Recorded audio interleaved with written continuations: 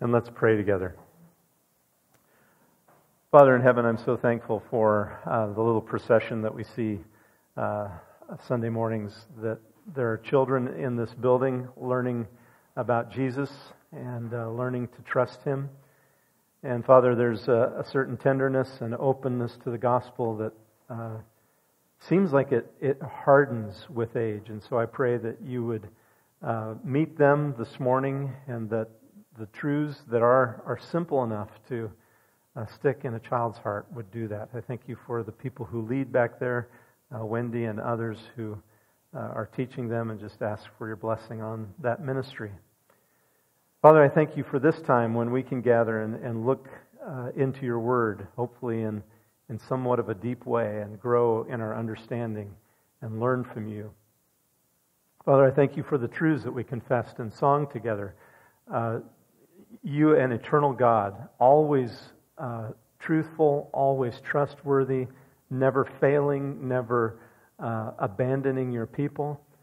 And I think some, sometimes we miss how that is tied to your love. Uh, the Bible, from beginning to end, talks about in the Old Testament the Hesed, the uh, covenant faithfulness or love, the mercy of God and how it drives who he is and what he does for people. And then, of course, uh, the most beautiful expression of God's love, the living image of your love, Jesus Christ. And so I pray that uh, we'd see glimpses of that today. I ask that um, I'm coming relying uh, on your word and your Holy Spirit uh, to do the work uh, of proclamation this morning and ask that uh, each person would receive what they ought, whether that's encouragement or correction. Uh, but I pray that you would go beyond human words and do uh, what I cannot. And uh, thank you for this time, and we pray it in Jesus' name. Amen. Well, maybe 10 feet below me, I mean, it, almost exactly below where I'm standing, uh, is an office dedicated to the extraction of what is rotten, crooked, twisted, or flawed. Uh, their work is often painful and disconcerting. Sue and I have been uh, victims down there recently, um, and uh, sometimes temporarily disfiguring. We don't often think of dentists as lifesavers, uh, but I actually knew a young father back in Illinois who uh, didn't take care of his dental work. The ensuing infection uh, caused uh, systemic infection, and he, he actually died from not taking care of his teeth. So uh, it, it's hard to imagine that a few bad teeth could destroy a body. But that is the realization that, that led to dentistry in the first place. It's been taking place since uh, uh, Egypt. And even within the last 150 years, dentistry was most about, mostly about extraction, taking out uh, what could cause problems. So, from ancient times right up to relatively recent. Now, can you imagine what kind of business they'd get downstairs if that's all they advertised for? We're just going to remove things and leave you ugly. It, wouldn't be a pretty picture. And I've witnessed uh, something that isn't beautiful either. And that's people trying to live the Christian life simply by extraction or subtraction. Uh, people who have claimed, have come to know Jesus Christ as their Savior, but they define, they define their life, their faith, primarily by what they've removed, what they don't do. Uh, my grandmother was a, a really solid Baptist, old school lady born in the 1800s, and she used to smile at me and say, Jon, don't smoke, don't chew, don't drink, don't go with the girls that do. Uh, and, and, that's how that's how some people define their faith. Uh, and God's word undeniably contains a lot of don'ts for us. We have the "thou shalt nots" in the Old Testament, but the New Testament, the new, the new covenant of Jesus Christ, also talks extensively, has long lists of things that should be extracted from the, the true Christian life. Next week in chapter 5, we'll read, But among you among believers, there must not be even a hint of sexual immorality or any kind of impurity or of greed, because these are improper for God's holy people. Nor should there be obscenity, foolish talk, or coarse joking, which are out of place. So, uh, you know, you just pick up on these words. Uh, they shouldn't be, there shouldn't be even a hint. They're improper. They're out of place for God's holy people. So it's not wrong to think about your life in terms of, hey, there are some things that need to be removed. There are some rotten things in my life, some cracked things, some twisted, some flawed, and I need to be putting those off. That's not all wrong, but it's only half right. It's only half of the truth. The injunctions to remove are there for multiple reasons. Uh, it, it's good for you to get some of these things out of your life that we'll talk about. But the primary reason in what we've been reading in Ephesians chapter 4 uh, has the, the chapter is about the unity and health of the Christian body, of, of a church. And last week we saw that we need each other's holiness. In other words, we need to each be following Christ, and that increases how we follow Christ together. Otherwise, the body is not going to mature and be whole like it should. So the Holy Spirit spoke to the church through Paul. He speaks today to us about removing behaviors that are damaging for the growth, the unity, the health of the body of Christ. But subtraction is only half of the truth of holiness. The pattern in the New Testament instruction is always removal and replacement. It's getting rid of certain things and, and bringing new things in. Replacement. Taking off in order to put on. Jesus isn't just concerned about rooting out disease in his body. He wants to create a healthy, uh, attractive uh, group full of useful lives. Our main text today, I already mentioned, is in Ephesians 4, and the, the, what we're going to be spending most of our time in is 25 to 32. But I'm going to start reading in 22 uh, just to, to pick up. You'll hear this idea of taking off and putting on. So Ephesians 4 22. You were taught with, your, with regard to your former way of life to put off your old self which is being corrupted by its deceitful desires, to be made new in the attitude of your mind, and to put on the new self, created to be like God in true righteousness and holiness. Therefore, each of you must put off falsehood and speak truthfully to his neighbor, for we are all members of one body. In your anger, do not sin. Do not let the sun go down while you are still angry, and do not give the devil a foothold. He who has been stealing must steal no longer, but must work, doing something useful with his hands, that he may have something to share with those in need. Do not let any unwholesome talk come out of your mouths, but only what is helpful for building others up according to their needs, that it may benefit those who listen. And do not grieve the Holy Spirit of God with whom you were sealed for the day of redemption. Get rid of all bitterness, rage, and anger, brawling, and slander, along with every form of malice. Be kind and compassionate to one another, forgiving each other just as Christ, just as in Christ, God forgave you. So I hope you heard a little bit of it there. We're going to point it out in more detail, but the Christian life is not just about subtraction, it's a life of proactivity. It's not just about rooting out the rotten, it's about replacing it with that which is wholesome, healthy, and constructive. So I want to summarize uh, the passage with this in mind. I'm just going to briefly mark out the points and then we'll look at them in more detail. It's not enough to silence the lie. We must also speak truth to one another in love. It's not enough to contain our anger, we have to deal with it. It's not enough to stop stealing, we must live responsible, generous, other oriented lives. It's not enough to, dist- uh, to silence destructive speech. We are responsible to verbally build each other up.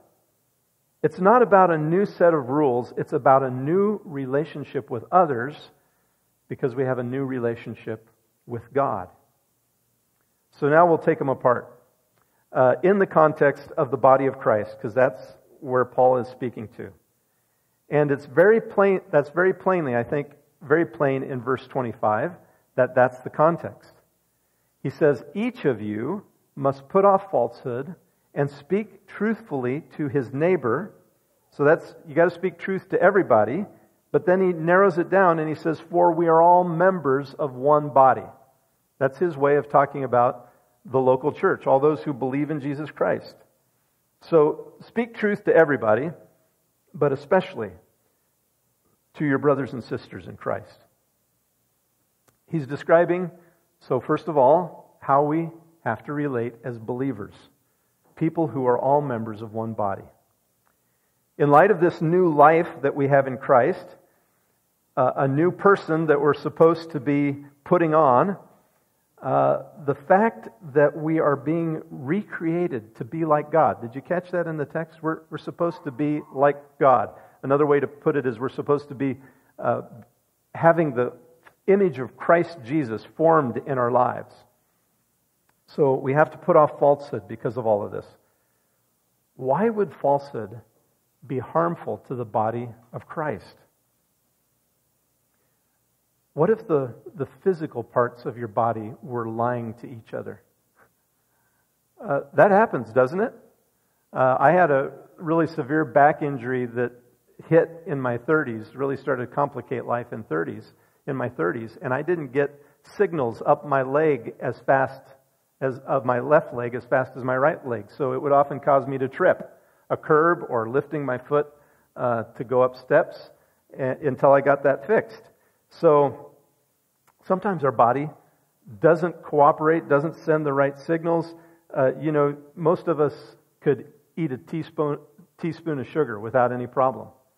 But not if your pancreas isn't working right.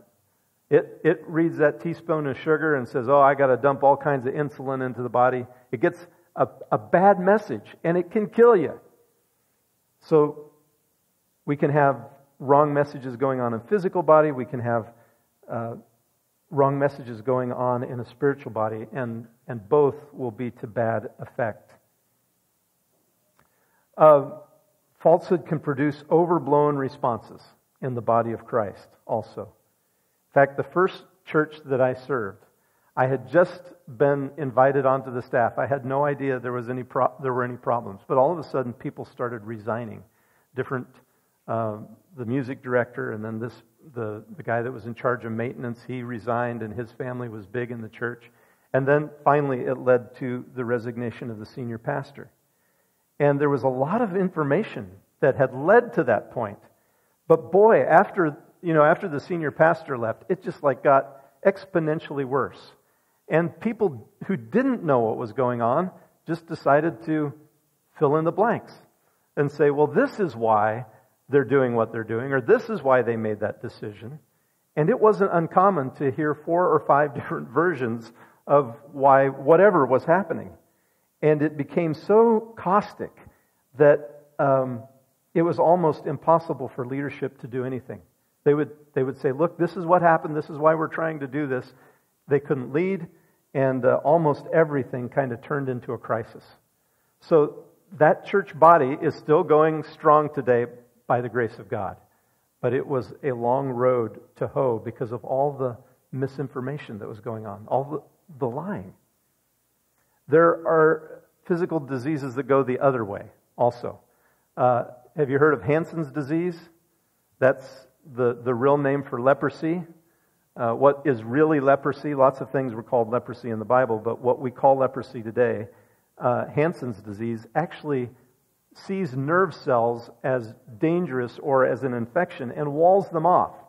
And people burn themselves and don't know it. People get infections in their body and um, leads to all sorts of awful things in the body because uh, they're not getting the signals they need, and, and things that should be treated go unnoticed.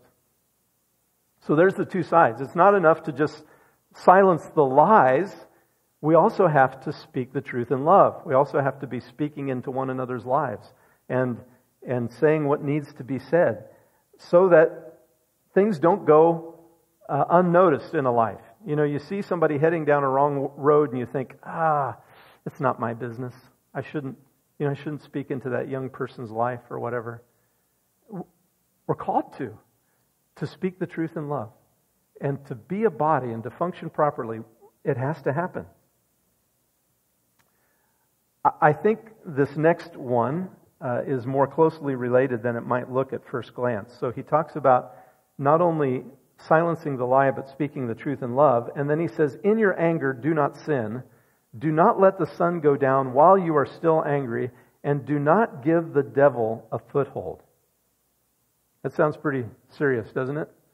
Um, in the context of human relationships, can we just say anger is inevitable?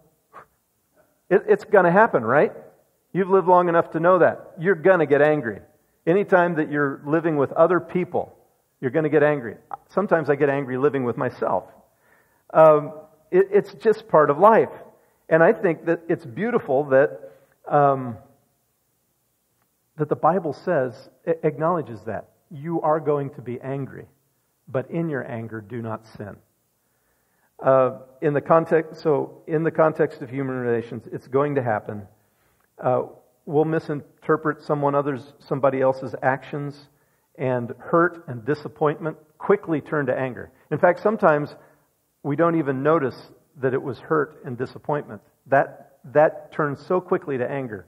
We didn't even notice that, hey, what's really going on is I, I feel hurt. I feel slighted or whatever.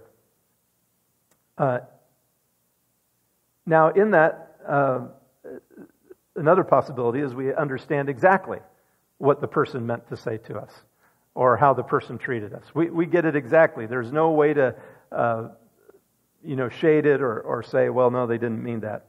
And again, hurt turns to anger. It's good in those situations if we can manage not to blow our top. Read Proverbs. There's all sorts of things in Proverbs about uh, a soft answer turns away wrath. A man who controls his temper, temper is better than one who is able to take a city. There's all sorts of stuff in there about, hey, just take a pause with your anger. Don't let it out uh, immediately. So that, that's good if we can um, manage not to blow our top. Manage not to respond in kind to the person who hurt us. That's good, but it's not good enough. It doesn't go all the way. In your anger, do not sin. So I can cut off the outward manifestation of anger, but proactively, Paul continues, don't let the sun go down while you're still angry. It's good if you've learned to control the outward uh, expression of anger, but if that anger is allowed to just smolder unaddressed? You've had that, haven't you? It's going to flare up sooner or later. It, it, it's just smoking now, but sooner or later it's going to get oxygen, and, and people are going to go, Where did that come from? Or it's going to burn you out. So let me give you a common scenario, one that Paul might have had in mind. Someone hurts me, I get angry, but in, in a good sense, in a righteous sense. I've learned to control the outward expression of my anger. I don't uh, respond in kind, I, I treat them with kindness. But uh, as good as that is, I go to bed still hurting. And I wake up the next morning and something triggers that memory. And I start to have a conversation with them in my head, even though I'm not, they're not there. And uh, it just starts to bubble up again and uh, it keeps bubbling like a soup of a pot of soup that's covered with a lid on a low flame, but sooner or later it starts to splash out in different places. Nothing huge, maybe just little comments. I'm always slanted slightly to the negative direction uh, in my in my view of the other person. uh, just a little distorted. Maybe when I talk about them, just a little slanderous, you know, just a little edge of. Have you been there? Or am I the only wicked person in the room? Okay, thank you. I got a witness. So, the reason I ended with just a little slanderous is because that's actually in the verse. Some translations bring this across. In your anger, do not sin. Do not let the sun go down while you are still angry. Do not give the slanderer a place to dwell.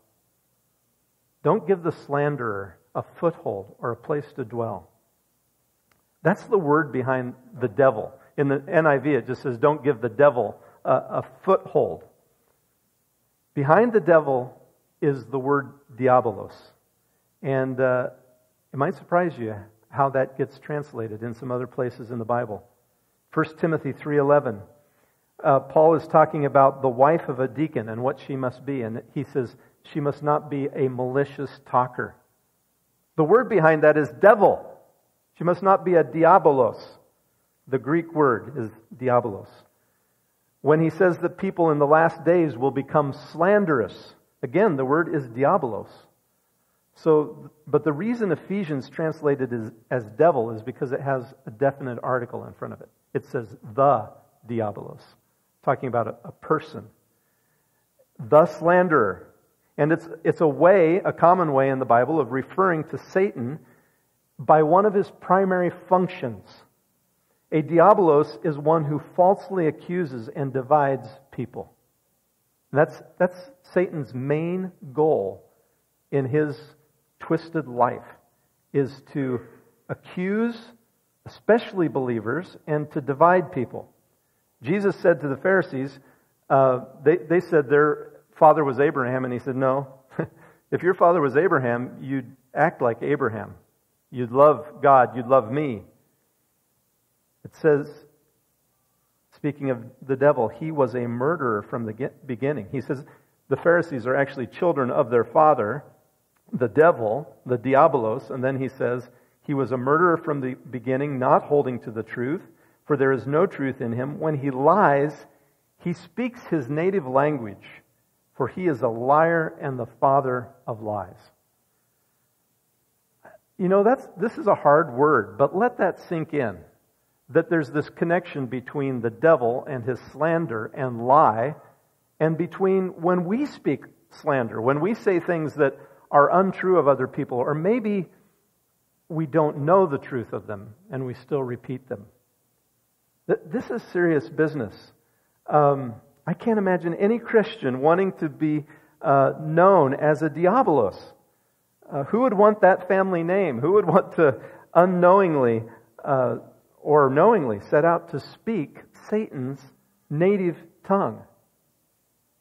But it can happen in the body of Christ when we don't righteously address our anger, when we return a kind word but instead entertain um, and nurture an unkind thought, we can end up actually helping the devil with his job of accusing and destroying and dividing. Now, yes, Paul says when you're angry, control your response, but do something else. Do not let the sun go down while you are still angry. I wonder what advice. Have you heard that verse before, first of all? And I, I wonder what advice you've received based on that verse. My dad, when I was growing up, he was not overtly Christian. He didn't go to church with us or anything, but he was a wise man. He always told me, Jon, keep short accounts. Don't let stuff fester with your brother, uh, you know, or your friends. That's good advice. Actually, it's godly advice. Uh, the Bible counsels quick resolution within the body and puts the responsibility on you, whether you're the offended or the offender. I know that doesn't sound fair, but Jesus said, if you're offering your gift at the altar and there remember that your brother or sister has something against you, leave your gift in front of the altar. First go be reconciled to them then come and offer your gift. Settle matters quickly. So God actually values right connection, even back then, God valued right connection between his people more highly than he did sacrifice, which he'd commanded. So that puts the responsibility, uh, if you know that someone has something against you, the responsibility is on you to go solve it. Um, but Christ also says, Matthew 18, if your brother or sister sins against you, go and point out their fault, just between the two of you. If they listen to you, you have won them over. So in the body of Christ, we can't say, well, okay, I will when they do. No, he puts the responsibility for either the, if you're offended or the offender, it's on you to go make things right. This makes so much sense to me. I, I remember hearing people say, well, marriage is, a good marriage is 50 50. That does not work. Because nobody ever puts out 50%. So, um, I'm putting out 30 and Sue's putting out 40, and those don't meet. A good marriage is 100%, 100%. We're both in it. We're both trying to love the other person and do what's best for the other person. We're not going to, we're not going to hit 100%. But 75 and 65 at least overlap. they bring us together. And, and the same is true if we're all, if we're each responsible for making things right, even if we're the offended or the offender. That will get us together if we're all living that out. Or maybe one of us is when the other one isn't.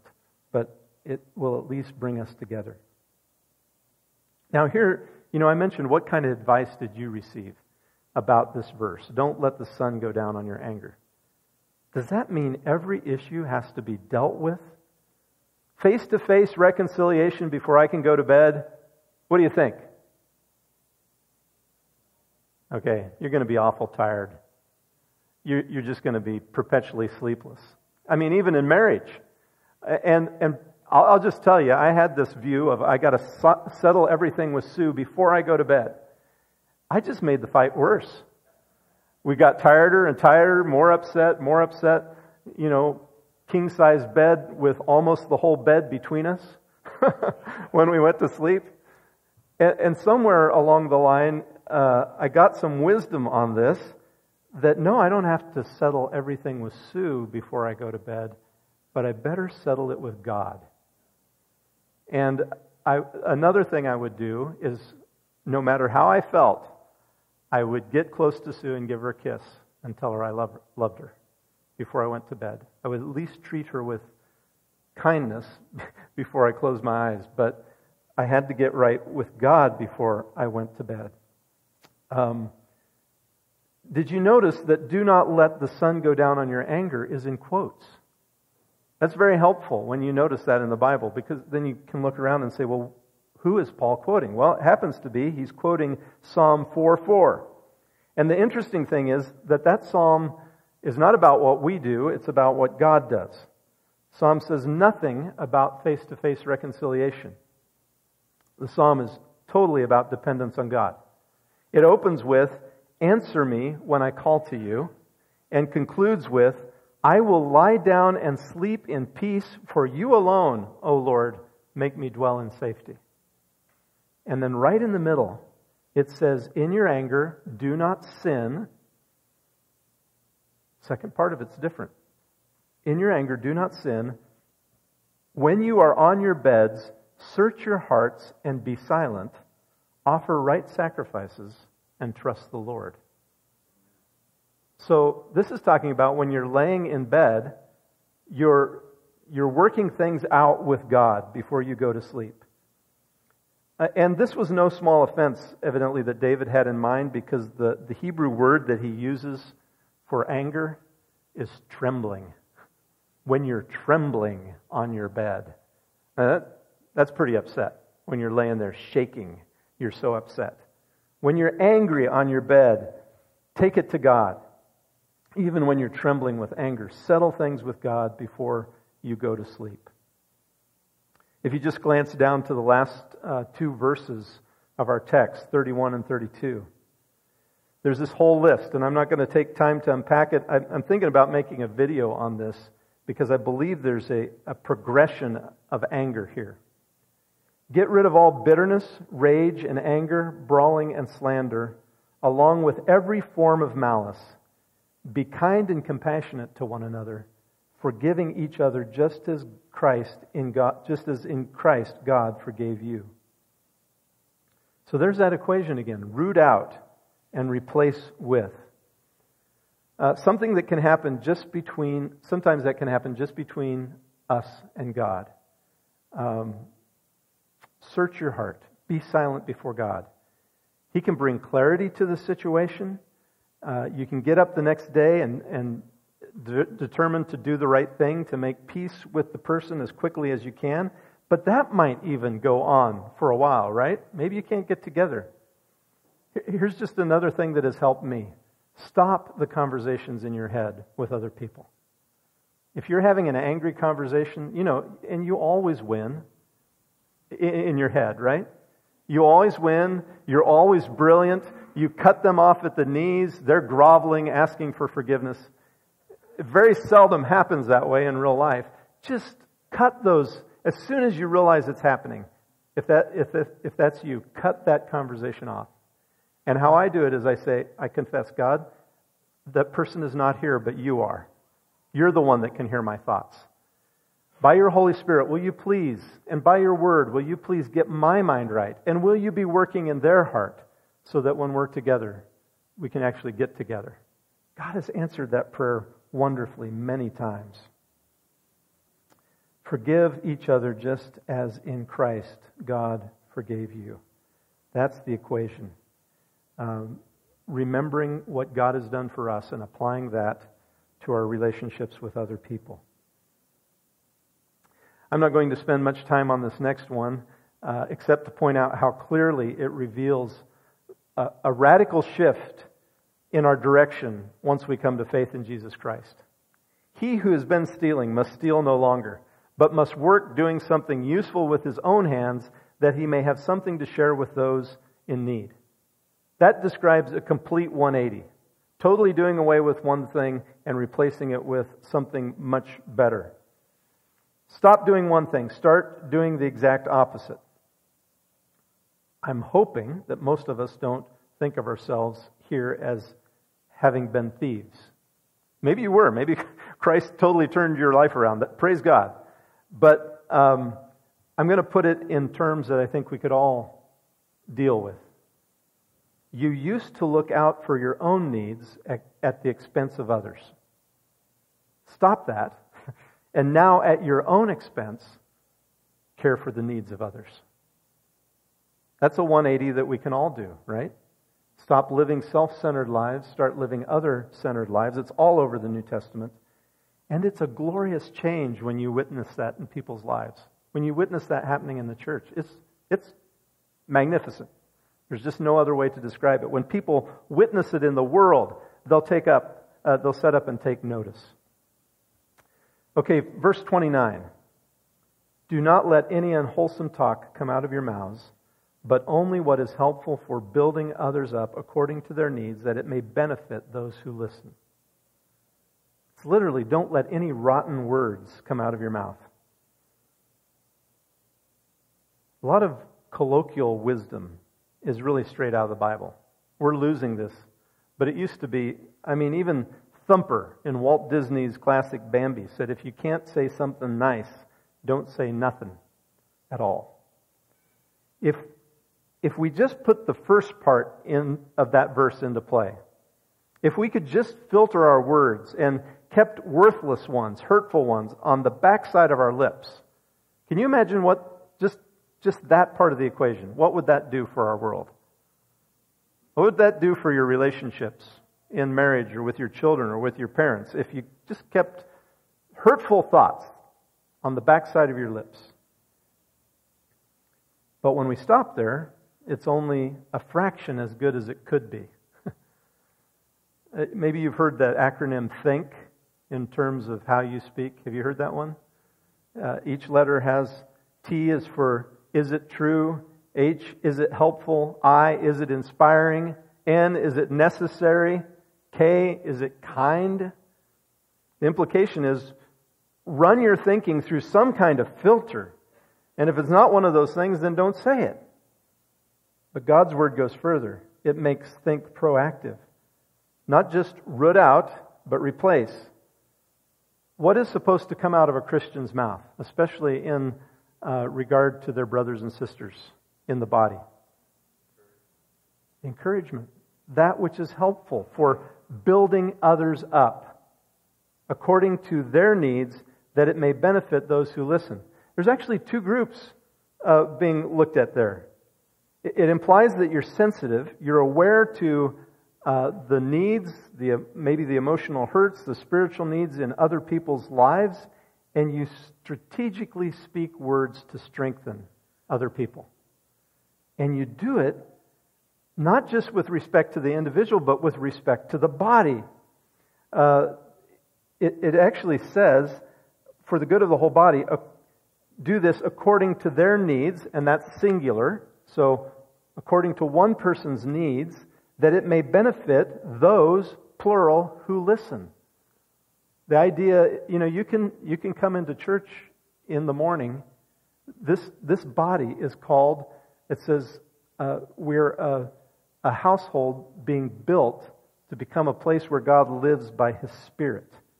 And you can come in, and in your speech, you can start pulling out the bricks with another person, but it might be spilling over onto others around you. So, uh, these attributes that we're supposed to root out and replace with grace among the listeners. Um, that's a responsibility of each part of the body. It means we each have a share in how gracious this community is. So, just a quick recap. It's not enough to silence the lie. We have to speak the truth in love. It's not enough to contain our anger. We have to deal with it. It's not enough to stop stealing. We must live uh, responsible, generous, other oriented lives. It's not enough to silence destructive speech. We are responsible to build each other up. Now, what happens if we don't root out and replace? What if we let grow and neglect? Verse 30 And do not grieve the Spirit of God with whom you were sealed for the day of redemption. I, I already mentioned this verse. It's been a couple of months since we, we read it. Ephesians 2.22. In Christ, you are being built together to become a dwelling place in which God lives by His Spirit. God's Spirit dwells in a special way among His gathered people, and God's Spirit can be grieved when we fail to put these graces into play. He, he's saddened by it when it happens among us. And then our last verse says, Be kind and compassionate to one another, forgiving each other, just as in Christ God forgave you. So there's the model. There's where we get the power for this. We don't forgive each other because it's good for us. I mean, that's, that's a great benefit. We forgive because we're forgiven. We lay it down because Christ took it up. it's not about a new set of rules, it's about a new relationship with each other because we have a new relationship with God. Amen? Well, let's pray. Father in heaven, uh, that's a lot.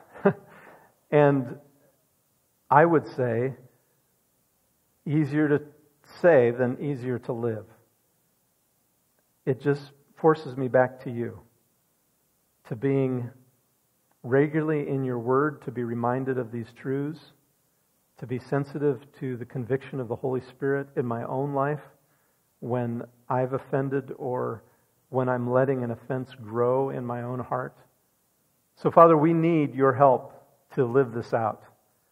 And we pray for your help, your divine help, to, to live this out in a way that a watching world will see. Uh, when worldly people, when people who don't know Christ see the church tearing itself apart, they go, Yeah, that's just what I thought. It's a bunch of hypocrites.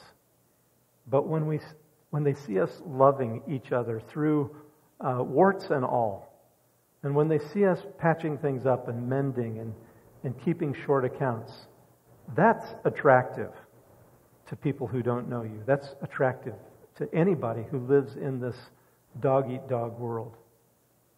And so, Father, I pray that you would uh, enable us through the power of your Spirit, through the teaching of your word, to become the church that we ought to be. In our private relationships with one another and with outsiders, but also in here. I pray for that power in my own life, and let all God's people say, Amen.